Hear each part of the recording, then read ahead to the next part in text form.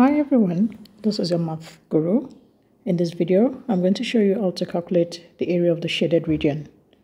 I have ABC is an arc of a circle with center O and radius 8 centimeters.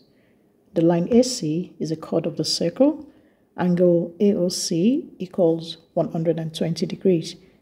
Calculate the perimeter of the shaded segment to two significant figures.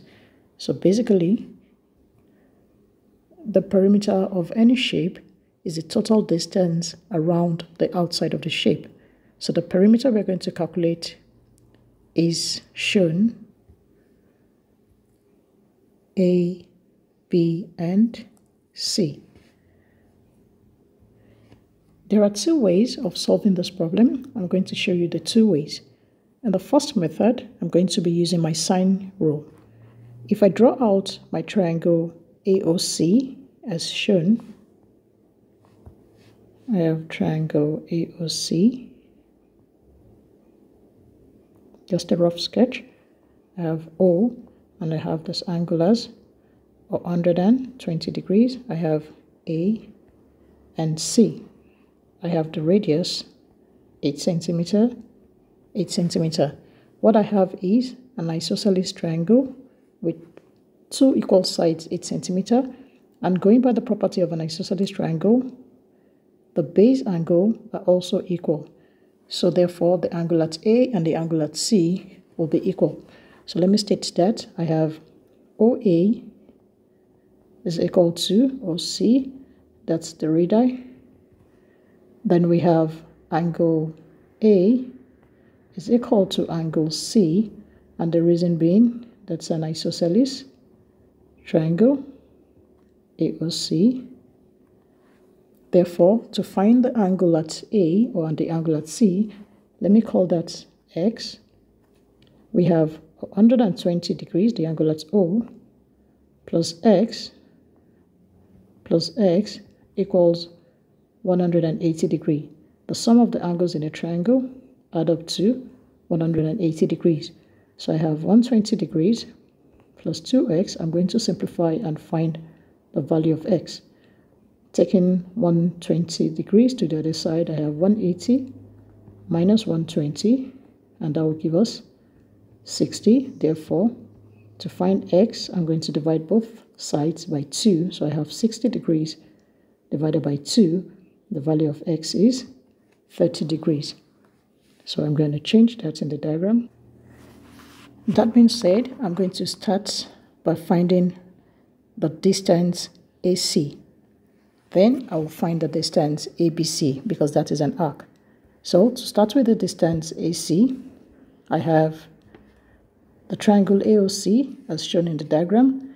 Using my sine rule, I have side AC over the sine of the angle facing AC, that's sine 120 degrees, is equal to, I can pick any of the sides. I have side OA equal to the sine of the angle facing my side OA, that's 30 degrees.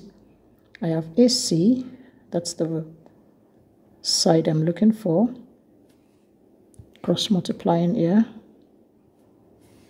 I have AC times sine 30 degrees equals OA multiplying sine 120 degrees. Remember, OA is 8 centimeters, so I'm going to slot that in. I have AC sine 30 degrees equals 8 times sine 120 degrees. And to find AC, I'm going to divide both sides by sine 30 degrees. I have this going out. Then I'm left with AC equals its root 3, which is the same as 13.86 centimeters. So now that I have the value of AC, I'm going to look for the length ABC. The arc of line ABC is equal to, the formula says, 2 pi r over 3 because that's a third of a circle, but I'm going to use the main formula. I'm going to explain that in the second method. To find arc ABC, I'm going to use the formula theta over 360 degrees times 2 pi r or pi diameter. We've been given the angle theta to be 120 degrees over 360 degrees times 2 pi r is a radius which is 8 and if I punch that in I'm going to have the value of arc ABC equals 16.76 centimeters. So I have this arc to be 16.76 centimeters. Therefore to find the perimeter of the arc ABC and the line AC, that's the total distance around the shape ABC. I have that as I'm going to add the line ABC or arc ABC plus the distance AC. That would be 16.76 centimeters plus the line AC. That's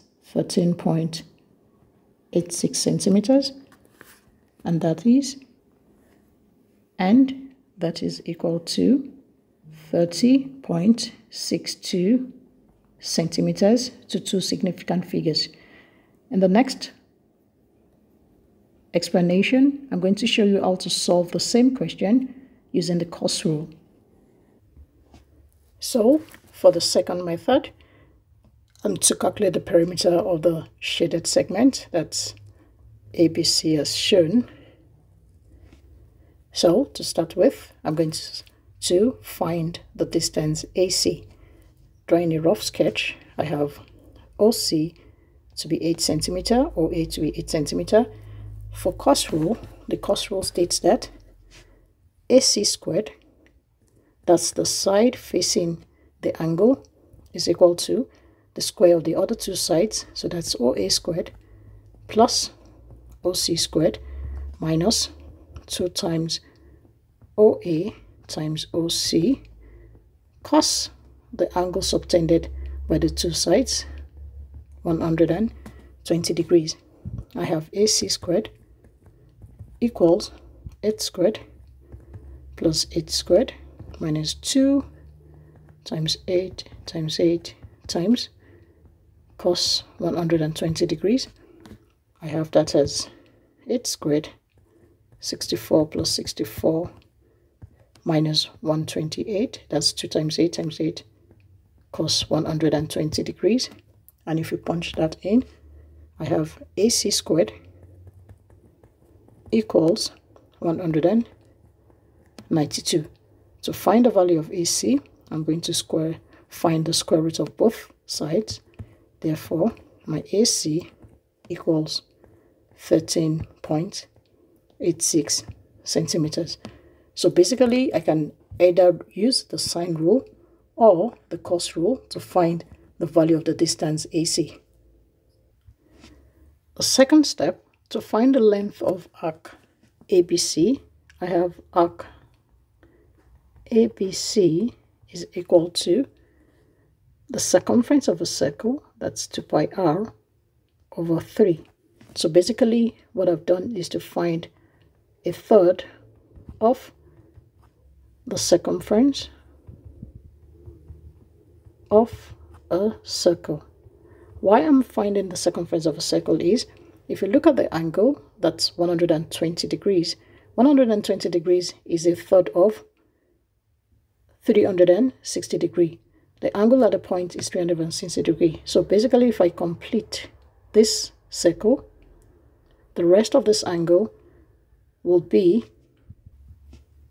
240 degrees, which is two third of 360. So to find the angle at the point, the sum of the angles at the point is 360.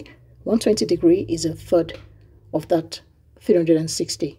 So that's why using the formula for the circumference of a circle, that's 2 pi r, I'm finding, or I'm dividing it by 3 to find the distance ABC as shown in the diagram.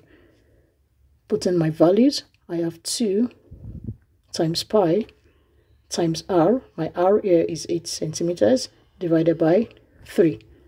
And if I punch that in, what I'm going to have is 16.76 centimeters. Therefore, to find the perimeter of the all shaded region, I have that as perimeter equals the line AC plus the arc ABC and that's 13.86 plus 16.76 all in centimeters. Therefore the perimeter P is equal to 30.62 centimeters to two significant figures. Remember in my first method I also got 30.62 centimeters.